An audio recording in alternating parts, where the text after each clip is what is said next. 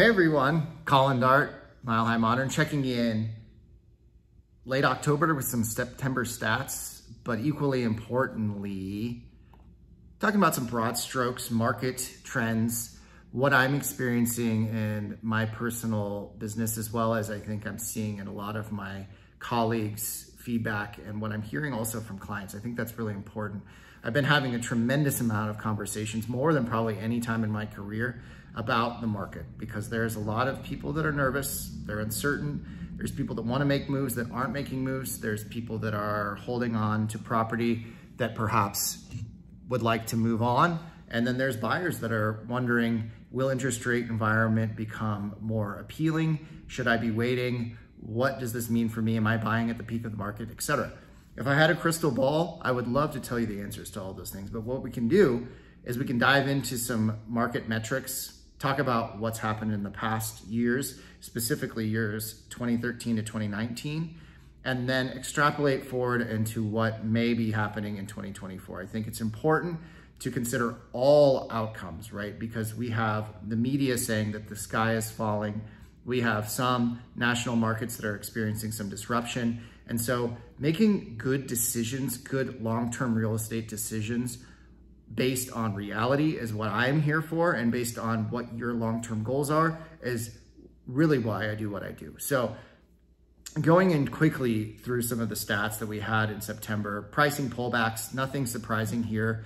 Seasonality is upon us and seasonality means that we have a retraction phase starting in September through usually November, and then we see pricing stabilize with the thought that we will go back into an expansion phase starting in the first quarter of the following year.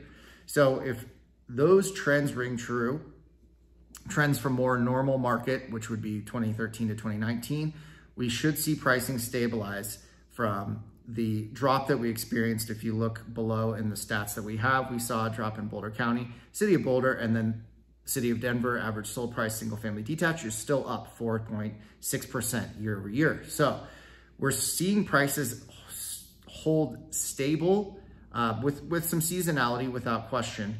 But I think that the overall market is still holding with our pricing and value proposition. And we really haven't seen much downward movement other than the seasonality and then combine it with a high interest rate environment. And perhaps we've seen a little bit, you know, let's say two to 5% more fluctuation during this time of year than we normally would.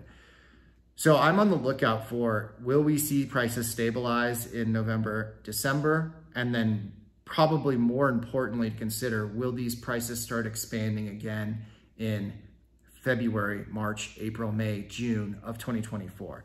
And this is how we're kind of back engineering real estate decisions today and how we'll be looking at that in the next six months because what is scaring me the most about our current market is that we have transactions that should be happening that are not happening and the climate that we are in right now there's opportunities on all sides of the spectrum to make a move on the buy side you have interest rates that are not favorable at all but we have 60% of properties closing with a concession to pay down interest rates right now we have pricing that is stagnated or depreciating in many regards.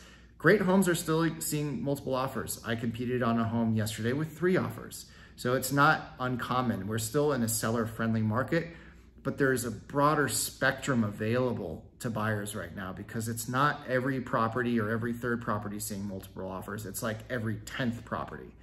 You've got nine other properties that may sell at or below list price and where that falls in the spectrum is where the magic happens on the buy side right now.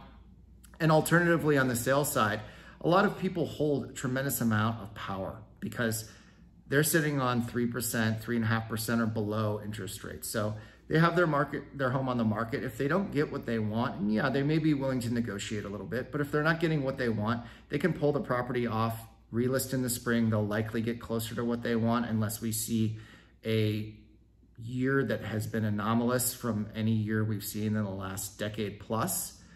Or they can pull the property off and rent it and then hold on for another year and kind of weather the storm, let a renter pay down their mortgage, and then relist again in 2025. So Seller side, lots of options, and there's still it's still a seller friendly market. We have to acknowledge that there's still multiple offers happening in certain situations.